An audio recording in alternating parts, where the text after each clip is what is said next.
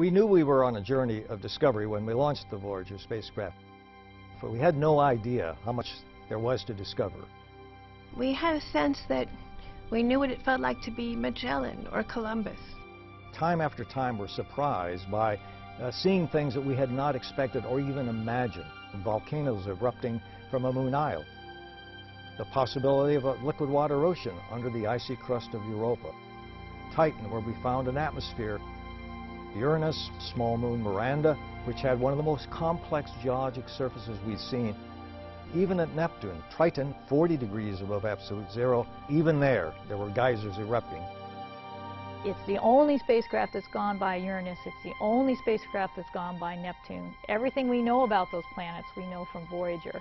To see those first pictures coming in from the outer solar system, for the first time, what had been a point of light in the sky was a place.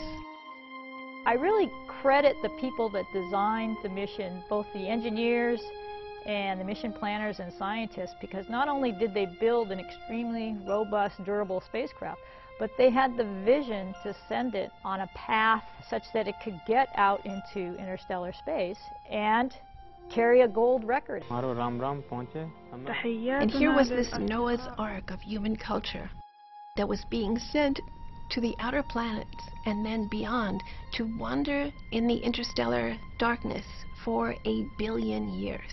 Hello from the children of planet Earth. On Valentine's Day, 1990, Voyager 1 looked homeward, and what did it find? Not the frame-filling Apollo Earth, but instead that one pixel Earth. That's here. That's home.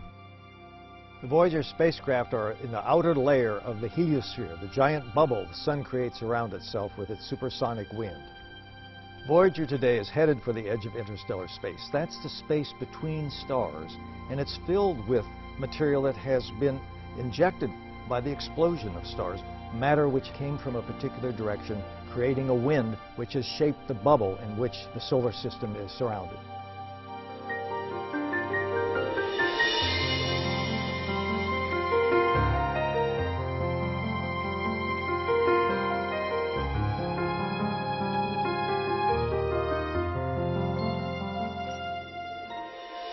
Voyager really has changed our view of the solar system. This will be a milestone in space exploration, leaving the solar system, leaving the bubble, and entering interstellar space for the first time.